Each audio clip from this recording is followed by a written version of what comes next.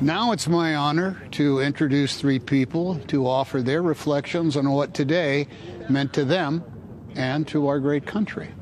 Here are Presidents Bill Clinton, George Bush, and Barack Obama. Well, good evening, America. Obviously, there was a personal element to see my former vice president uh, become the 46th president, uh, to see uh, Kamala Harris as our first woman vice president.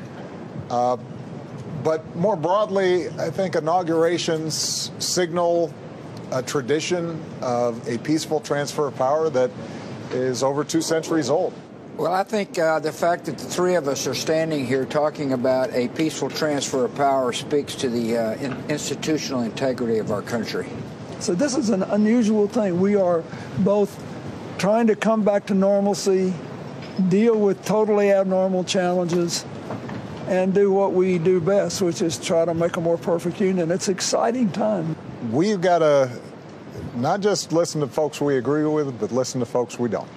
Uh, and you know, one of my fondest memories of the inauguration was uh, the the grace and generosity that President Bush showed me and Laura Bush showed Michelle, and it was a reminder that we can have fierce disagreements uh, and yet recognize each other's common humanity, and that as Americans, uh, we have more in common than what separates us.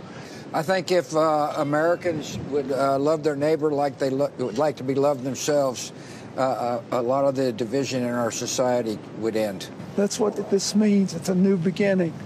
And everybody needs to get off their high horse and reach out to their friends and neighbors and try to make it possible.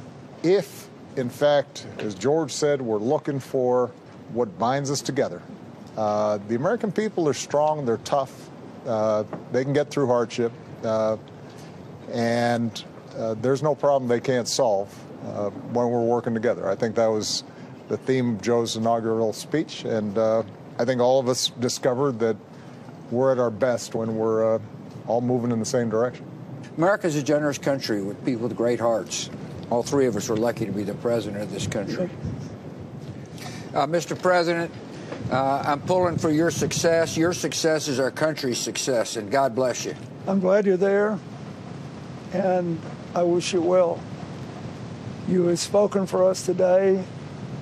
Now you will lead for us, and we're ready to march with you. Good luck. God bless you. Joe, I'm proud of you, uh, and you and Kamala uh, need to know that you've got all of us here rooting for your success keeping you in our prayers, uh, and we will be available in any ways that we can as citizens to, to help you guide our country forward. Uh, we wish you Godspeed.